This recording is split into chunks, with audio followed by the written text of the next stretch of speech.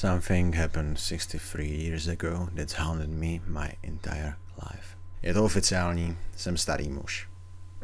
Posledních pár let jsem se utěšoval tím, že jsem ve svých raných sedmdesátkách, ale čas a matika jsou neomylné a nemají slitování. Dnes mám 75. narozeniny. A bože, ty roky letí. Nejsem tu pro vaše narozeninová přání. Tohle je zdaleka milník, ze kterého mám radost. Jsem rád, že jsem stále tu. Samozřejmě. Ale s každým pomíjejícím rokem mám méně a méně pro co žít. Mé kosti bolí, mý potomci bydlí daleko a nenavštěvují. Má postel už bude přes 8 měsíců prázdná. Popravdě, jakmile v listopadu předložím svůj hlas proti tomu zatracenému Trumpovi, možná už skutečně nebudu mít pro co žít. Vůbec. Takže mě ušetřete těch vašich hodně štěstí, zdraví a dědek má narozeniny. Není za co blahopřát. Jsem tu, stále dýchám, trávím a pšoukám, abych vám řekl svůj příběh. Mám tu historku. Vzpomínku jen a jen pro vás, kterou jsem nikdy nikomu nepřevyprávěl. Myslel jsem si, že ji držím v sobě, protože je pošetilá nebo protože by jí nikdo nevěřil. Zjistil jsem ovšem, že čím starší jste, tím více zdricující si lhát. Pokud mám být plně upřímný, nikomu jsem nikdy tuto historku nezdělil, protože mě děsí k smrti. Ale smrt se teď zdá přátelštější s tím svým chladným obětím víc než kdy dřív předtím. Takže poslouchejte pozorně. Dechu už mám málo a jsem ochoten ho pro vás vyplýtvat. Psal se rok 1950. Malá obec v Maine. Bylo mi devět, na svůj věk jsem byl docela mrňavý a na světě měl jen jednoho kamaráda. A rodinu, která se zdánlivě z vrtochu rozhodla přestěhovat o 2000 mil dál. Pomalu se to formovalo v moje nejhorší léto v životě. Otec nebyl na blízku mamka byla žena v domácnosti, která mě nenechávala flákat se podobně. S trochou váhání jsem se odhodlal strávit léto ve veřejné knihovně. Knižní sbírka knihovny, zejména dětských knih, byla skromná. Ale mezi stěnami této chudobné, lakomé struktury jsem nenarazil na žádné úkoly, uklízení, obtěžující matku, nechtějí země lehká. A snad nejdůležitější prvek. Žádné další děti, ke kterým by se čekalo, že se budu přidružovat a socializovat. Byl jsem jediný klučina s tak nízkým sociálním postavením, že jsem strávil ty drahocené dny svobody, durdíc se mezi knižními policemi. A to mi nevadilo. První půlka léta byla hroznější, než jsem čekal. Spal jsem do deseti, pak měl nádobí, vynášel koš, luxoval, cokoliv si královna usmyslela. Jak jsem ale pak nasedl na kolo a ujel do knihovny. A tím kolem mám na mysli zřezavělý špalek hovna připojen k páru kol. Dostal jsem satisfakce. Jakmile jsem se tam dostal, trávil jsem čas půl na půl neumyslným či záměrným otravováním postarších obyvatel. Jedna milá paní dokonce přerušila mé nepřetržité klikání jazykem zasyčením drž kurva hubu. To bylo poprvé, co jsem slyšel takovou nadávku od dospěláka. Skurvený od vás, co? Vím, ale v těch časech to bylo neslíchané. Ty fádní dny se změnily v žalostné týdny. Začal jsem se modlit, aby škola zase začala. Dokud jsem neobjevil sklep. Přísahám, že jsem proč nechal každý centák té knihovny. Ale jednoho dne, v tom vzdáleném rohu, za kolekcí dvojazyčných knížek, jsem narazil na malá dřevěná dvířka, která jsem tu nikdy dřív nezaregistroval. Tehdy to vše začalo. Vrata byla bez oken, neprůhledná a z dubu. Zdála se starší než zeď, do které byla zasazena. Na místě kliky měla kouli z černého kovu, která vypadala skutečně prastaře. Nebyl bych překvapen, kdyby byla vyrobena v 17. století. Do koule byl vyrytý symbol otisku podrážky. Měl jsem tušení, že to cokoliv, co se za nimi nachází, je mi zapovězeno – tím pádem je to zároveň tou nejzajímavější věcí, se kterou se za celé léto setkám. V rychlosti jsem se otočil, ujistil se, že mě nikdo nesleduje a otočil těžkou koulí. Proklouzl dveřmi a zabouhl je. Nebylo tam nic, jen a pouze temno. Šel jsem pár kroků a pak zastavil. Vylekán z té armády stínu, která mě obklopovala. Zamával jsem před sebou rukama, v pokusu o namatání zdi či stolku. Čehokoliv k podržení. Co jsem nalezl, bylo o dost jemnější. Nepatrná nitka klimbající se z hora. V skutku užitečná. Chopil jsem se jí pevně a stáhl jí dolů. Tehdy se valná většina žárovek kontrolovala provázky. Tohle byla jedna z nich. Mé okolí se instantně osvítilo. Stál jsem na malé, zaprášené plošině. Zdála se, že už dlouhou dobu nepřišla do kontaktu se životem. Nalevo ode mě se nacházelo spirálovité schodiště ze dřeva, na pohled připraveno každou vteřinu na neodvratný kolaps. Žárovka byla jediný zdroj světla v místnosti a zdála se slabá, takže když jsem nakouknul přes zábradlí, co leží dole, spodek schodiště mizel v temnotě. Pocítil jsem nával strachu. Tohle místo, kdekoliv to bylo, nemělo na pohled nic společného s městskou knihovnou. Bylo to, jako bych byl v úplně odlišné, oddělené budově. Ale žádný devítiletý chlapec nenechá záhadu nevyřešenou. Hledíc zpět, kéž bych řekl svému předpubertálnímu sobě, abych se otočil, vrátil se, provedl cokoliv, než jen sešel ty schody. Budeš ušetřen tuctu bezesných nocí, řekl bych. Ale samozřejmě to jsem tehdy nevěděl. A možná bych ani neuposlechl, kdyby ano. Místo otočky a vyslepičení jsem se zhluboka nadechl, stiskl zábradlí a nasupeně hleděl vpřed, jak jsem započal se svým sestupem. Dřevo na zábradlí bylo suché a pokryté třískami. Okamžitě jsem se opustil, užívajíc rukou k balanci. Zatímco jsem opatrně překračoval schodiště. Bylo, aspoň se zdálo, velmi dlouhé, s tou jedinou tlumenou září z nitkové žárovky vysoko nade mnou. Mé srdce započnulo být nemilosrdně ve tmě. I děti vycítí, když něco není správně. Myslím si, že trik je v tom, že jim to prostě je pouze častěji uprdele. Tou dobou, co jsem dorazil k cementové podlaze na dně, světlo ze zhora bylo už jen pouhou vzpomínkou. Ale byl to nový zdroj světla. A bože, na ten už nikdy nezapomenu. Přímo přede mnou se nacházely dveře. Masivní, v hluboce temném odstínu červené. Světlo vycházelo spoza těchto dveří, ze všech stran. Zlověstný, neblaze nejasný svítící obdelník. Po druhé jsem se zhluboka nadechl Zalepal po dechu a otevřel dveře, což jsem neměl. V kontrastu s předchozí, zatuchlou místností, byla místnost za dveřmi oslepující. Když se moje oči přizpůsobily, to, co jsem viděl, mi plně vzalo dech. Byla to knihovna. Ta nejdokonalejší knihovna pod sluncem. Okounil jsem žasnutím, jak jsem kráčel, téměř úctivě, dál do místnosti. Bylo to překrásné. Menší než ta na povrchu. Mnohem ale zdálo se, jako by to pro mě ušil krejčí. Poličky byly plněné světle barevnými názvy. Obě křesílka v prostředku místnosti byla nádherně pohodlná a ta vůně. Božínku, ta vůně byla jednoduše neuvěřitelná. Určitý druh směsi citrusu a borovice. Nemůžu tomu udělat službu slovy. Snad postačí komplement, že jsem nikdy necítil nic voněvějšího. Během svých 75 let. Co bylo tohle za místnost? Proč jsem o tom nikdy dřív neslyšel? Proč to nikdo není? Toto byly otázky, na které jsem se měl ptát. Ale já byl opilý, omámený, moucha v pavučině. Jak jsem upřeně zíral všude kolem po knihách, vyhříván vůní ráje, byl jsem schopen utvořit jen jednu myšlenku. Už se nikdy nebudu nudit. Podařilo se mi vyhýbat se nudě po celé tři roky. Na mé 12. narozeniny, přesně 63 let ode dneška, se vše změnilo. Před tím dnem jsem navštěvoval podzemní svatyni. Jak často jsem jen mohl. Povětšinou několikrát do týdne. Nikdy jsem tam nespatřil ani živáčka. Přesto jsem podivu hodně zůstával bez podezření. Z té místnosti jsem nikdy nevynesl ani knížku. Místo toho jsem si vždy vybral konkrétní svazek, kde jsem přestal číst na předchozí návštěvě. Sedával jsem vždy na tom temně tmavém křesílku, vždy nechávajíc jeho sterilní dvojče čelíc přímo naproti sobě. Tamto křeslo nebylo moje. To druhé bylo.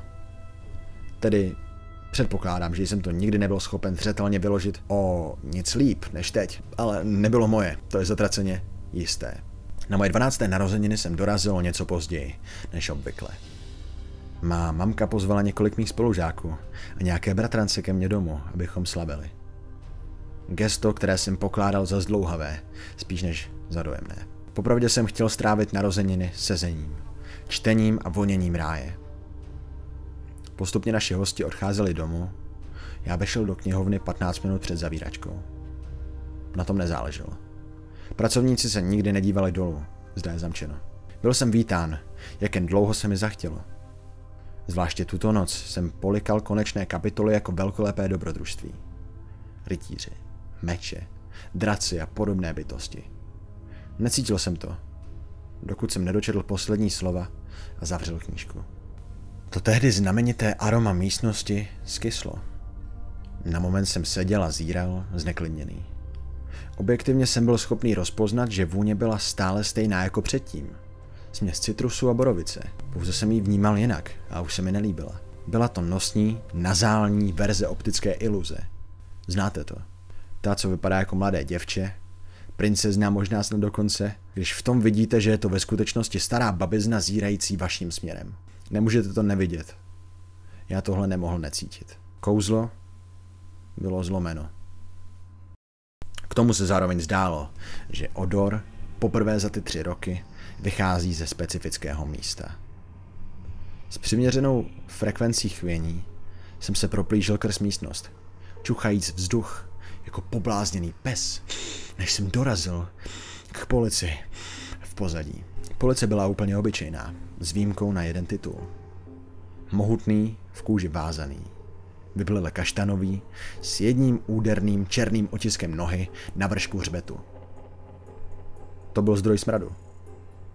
Otevřel jsem přebal a nalistoval první stránku. V první větě, psané, tedy spíše pečlivě vydrápané inkoustem v barvě krve, stálo. Ulož smutky a zárvodky k vodě, příteli. Nech je plavat. Zíral jsem na tuto větu. Fascinován, zhypnotizován, zatímco jsem ustupoval do svého křesla. Otočil jsem stránku. Prázdná. Smrad nebral na intenzitě. Na moment jsem zastavil. Zadržel dušení a potlačil prudkou nevolnost. A pokračoval v chůzi. Poté, jak jsem se blížil ke křeslům, jsem otočil jednu poslední stranu a na ní ve stejně neblahém písmu se nacházela poslední věc, kterou bych čekal. Moje jméno. Upustil jsem knihu. Rozběhl jsem se sprintem ke dveřím, ale jak jsem upíral zrak dopředu, srdce mi vyskočilo až do krku a zastavil jsem ve vlastních šlépějích. Postarší muž v obleku seděl přede mnou, noha přes nohu, přeměřujíc mě pronikavýma šedýma očima a jemným úšklepkem, rozjímajíc. Tohle bylo příliš. Padl jsem na kolena a vyhostil obsah svého žaludku na koberec. Otřel jsem si pusu, zírajíc na zvratky, když v tom jsem slyšel mužův chichot. Zíral jsem na něj nevěřícně. Kdo jsi? Otázal jsem se. S tónem paniky v přeskakujícím hlase. Muž se vyhoupnul na nohy, lehce mě popadnul za ramena a pomohl mi na židli. Pak se zamusadil. Bojím se, že jsme vykročili špatnou nohou, řekl, pohlížejíc na moje vnitřní dílo, nyní již na koberci. Ten pach. Chvilku to trvá, než si na něj zvykneš. Kdo jsi? Zopakoval jsem. Dnes poznáš utrpení, jaké si doposud neokusil. Odpověděl. Přicházím v míru, přátelsky, nabízejíc ti útočiště a pomocnou ruku. Od něj a od všech bouří na obzoru. Nechtěl jsem nic víc, než v ten okamžik odejít. Ale zůstal jsem sedět. Zeptal jsem se ho, co přesně tím má na mysli. Tvá matka je mrtvá, chlapče. Vlastní rukou v kuchyni. Je to příšerné na pohled, musím uznat. Vyřkl tesklivým zabarvením, s hravým odleskem v očích. Bez pochyb se chceš vyhnout této cestě. Mohu ti ukázat bezpečnější. Z těch děsů, o kterých tento muž mluvil, mi stuhla krev, ale nevěřil jsem mu. Co po mně chceš? Požadoval jsem vědět, snažit se znít statečněji, než jsem se cítil. Smál se. Starým, chraplavým štěkotem, který mu třásl kostru. Nic než tvé přátelství, drahý chlapče, prozradil. Následně, vycitujíc, že mi jeho odpověď přišla nedostatečná, vyložil. Chci, aby se se mnou vydal na cestu. Má práce je šlechetná a budeš mi slušným učněm. A možná, až budu mít dost, unaveně vzdychnul, pronikajíc svými kosnatými prsty bílými vlasy, tehdy možná bude má práce tvou. Vstyčil jsem se uskakujíc k vratům, nikdy neuhýbajícího soustředěnému pohledu. Jsi blázen, úplně šílený. Plivl jsem na něj. Máma není mrtvá. Není. Přesvědč se sám, když musíš, řekl, ukazujíc ke dveřím. Vyměnil jsem si s ním pohrdavé pohledy a utíkal k východu. Jak moje ruka otáčela dveřní koulí, vyslovil mé jméno jemně, šepotem. Otočil jsem se. Tvá cesta nebude jednoduchá, příteli. Jestli to na tebe někdy bude moc a někdy znamená kdykoliv, řekl s pauzičkou, aby mával rukou po místnosti. Víš, kde mě hledat. Zabouchl jsem za sebou dveřmi a po dvou schodech vybíhal sešlé schodiště. Opustil jsem knihovnu, naskočil na kolo a šlapal domů. Přední vrata byla otevřená, seskočil jsem a nechal kolo na zahradě. Přiblížil se k domu opatrně. Starý muž musel lhát. Prostě musel. Stále jsem si opakoval, zatímco se mi oči plnily slzami. Bodali mě. Bušilo mi srdce. Vešel jsem dovnitř a volal matku. Neslyšel jsem žádnou odpověď, tak jsem nakráčel do kuchyně. Do dnešního dne nemám ponětí, proč to provedla. V tom malém městečku v Maine jsem strávil celý život. Ačkoliv jsem se většinu doby vyhýbal městské knihovně. A je tu i synagoga. Jednou, ve své pozdní dvacítce, jsem nabral dost kuráže na to znovu vstoupit. Život byl v té době skvělý a můj strach se začal morfovat do plané zvědavosti. Kde si stály dveře do sklepní svatyně, byla nyní jen holá zeď. Zeptal jsem se knihovnice, co se s podzemním komplexem stalo, ať jsem v srdci odpověď znal. Byl jsem strašen tím hnusně sladonkým smradem, jedovatý, mix citrusu a borovice, už u těch narozenin. Když jsem toho dne viděl svoji matku v kuchyni, skolapsovanou ve vlastní bazénku krve. Cítil jsem to. Když muž tvrdící, že je můj otec, zaklepal na moji vysokoškolskou kolej a žádal mě o peníze a odmítl jsem ho, cítil jsem to. Když má žena potratila druhé dítě. Cítil jsem to a znovu jsem to cítil, když potratila naše čtvrté. Když se náš nejstarší syn posadil za volant rodinného bojku, úplně na sračky a zabil svou přítelkyni, cítil jsem to. Počínal jsem to cítit pravidelně, když má žena onemocněla. Zemřela později toho roku. A teď jsem sám. Jsem tu sám. Poprvé za víc než polovinu století. Nyní to cítím každý den. Zdá se mi to jako pozvánka. Pár měsíců zpět jsem šel do knihovny a malé dubové dveře s prastarou koulí tam byly. Mé večerní vycházky mi přinášely střípky minulosti. Nikdy jsem do té knihovny opět nevešel, ale možná to dnes provedu. Ano, bojím se smrti, jenže poslední dobou se víc bojím toho držení při životě. Ten stařec měl pravdu. Má cesta nebyla jednoduchá. Pochybuji, že se zlehčí. Ulož smutky a zármutky k vodě, příteli a nech je plavat. Slíbil mi úlevu. Útočiště, cituji. Měl pravdu? Je jen jeden způsob, jak to zjistit. Potom všem stále vím a nevím, kde ho hledat. I doxit for a living. Jak říká titulek, hlídám psy. Před několika týdny jsem takto poprvé přespával v cizím domě. Dost narychlo zařízeno. Většinou takové last minute zájemce odmítám, i když jsem dostupný. Ale tento pár jsou dlouhodobí rodinní přátelé, takže jsem byl povinen. Stejně to měla být brnkačka. Mají 12-letého anglického bulldoga jménem Winston. Ten hafan je definice lenosti. Jediný pes, se kterým jsem se kdy setkal, co potřebuje dokopat na procházku. Žádné mimořádné potřeby, alergie, postižení. Jediná věc, kterou zmiňovali, je, že posledních pár měsíců ustavičně kňučí, pokud ho nenecháte spát v ložnici v jeho růžku. V krabici. 12 let je napsat dost času k tomu, aby se změnil v neurotika. Toť pravda. Nicméně, ukázal jsem se v domě pro svůj pobyt. Winston se ani nenamáhl slést z gauče. Jen na mě tak zíral, jako bych přerušil jeho šlofíka. Co je třeba zmínit je ten směšný počet ošklivých starožitností zdobících toto místo. Fakt šerednost. Víte, jak je design moderních domů prostorný a dýchatelný. No, tohle byl jeden z těch důchodcovských domků, kdy stařešinové každý kout přistelou rodinným majetkem. Díky tomu domek zapáchal plísní a samozřejmě tedy starobou. V rychlosti jsem složil svá zavazadla v ložnici, přízemí a zbytek dne strávil na gauči s Winstonem. Když přišlo na spaní, byl velmi dobře vychovaný a okamžitě vlezl do své bedničky boudičky. Usnul v moment, co jsem zavřel bříšku. Probral jsem se v prostřed noci díky zvuku znějícímu jako tření kovu okov. Jsem totální strašpitlík, takže jsem tam ležel zmražený, uši nastražené, aby zachytil něco jiného, než agresivně bušící srdce. Když od cirka 30 sekund později začalo chrčet topení, hned jsem to zařízl. Přesvědčen, že to nic. Pár hodin na to se to opakovalo, stejné kovové tření, jen se ozývalo z opačného směru, jestli to dává smysl. Jelikož během chvilky topení znovu začalo uvolňovat příjemné teplíčko, se zdrojem lomozu jsem byl nakonec docela spokojený. Bylo to pohodlné, něco jako kapky deště parašutující na střechy a parapety. To se dělo každou noc mojí návštěvy.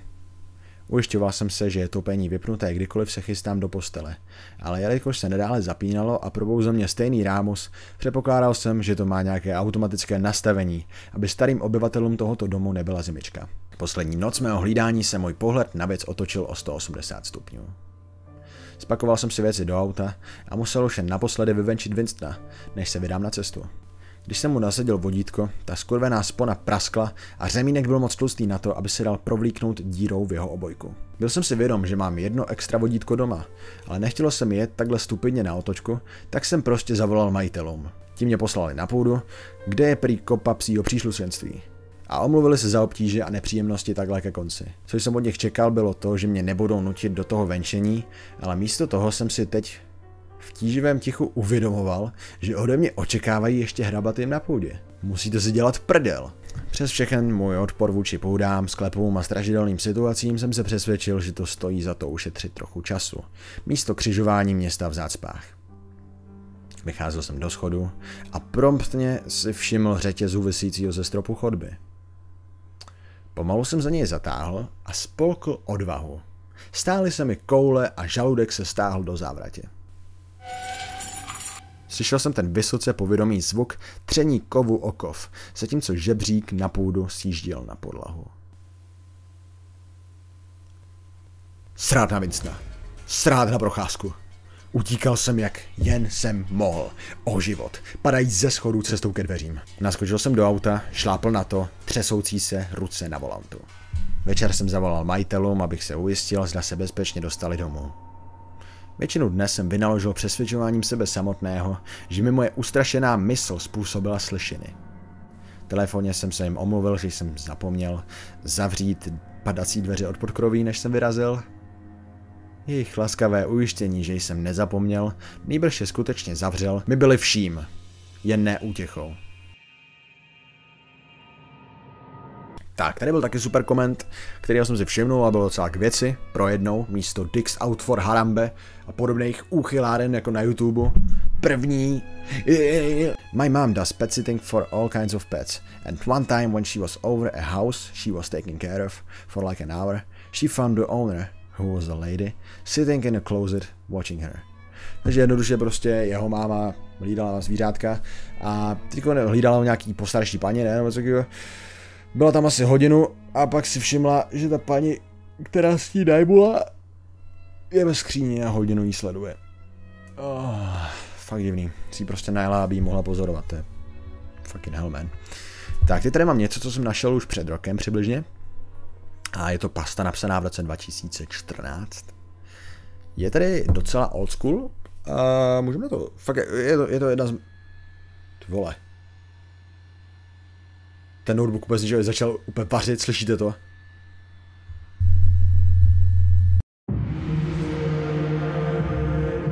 Smith Sisters Murdered Anonymously. The Smith Sisters je děsivá městská legenda o dvou mladých dívkách, které byly zavražděny neznámým vrahem, zatímco spali ve svém pokojíčku.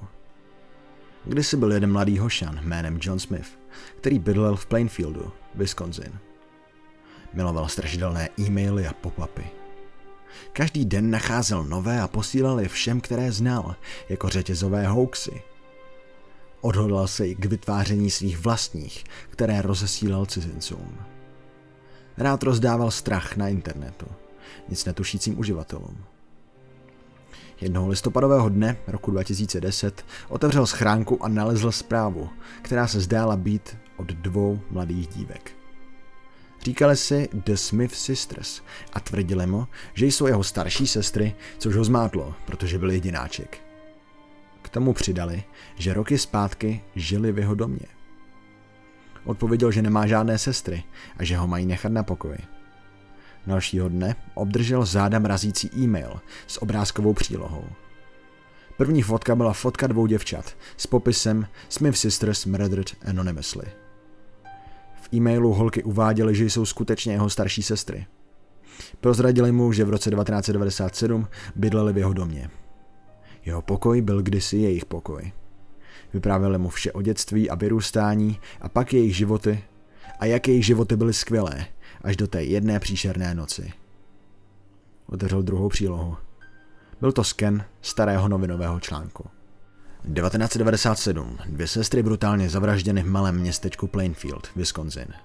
Lisa Smith, 19 let, a její sestra, Sarah Smith, 15 let, byly napadeny v domě jejich rodičů.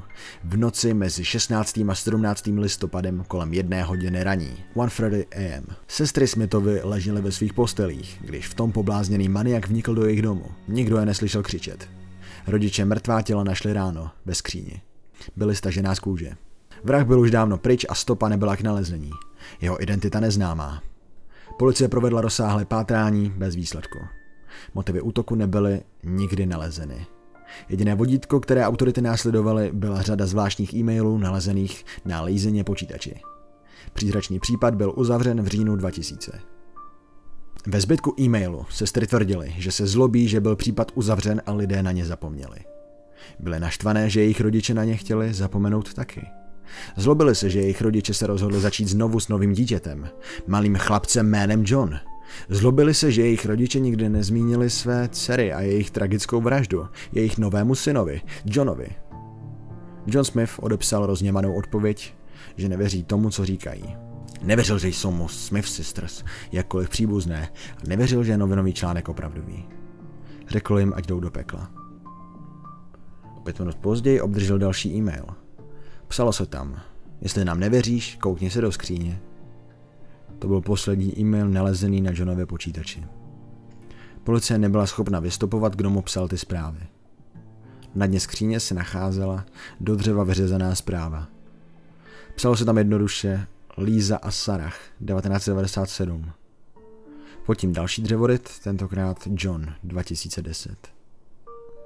Nikdo neví, co dělal John dál, ale ráno John nepřišel na snídani. Rodiče nahlédli do skříně, jen aby byli poznamenáni na život. Nalezli mrtvé tělo svého syna, stažené z kůže. Nikdo neví, co přesně se té noci stalo. Policie poskládala puclíky dohromady jen z toho, co našla na Johnově počítači. Rodiče to zdrtilo. Jak se toto mohlo stát jedné rodině? Nejdřív jejich dcery, léta později jejich syn. Stejné místo, stejný způsob. Jediné důkazy, pár strašidelných e-mailů. Čas se přestěhovat. Everything is gone. We're children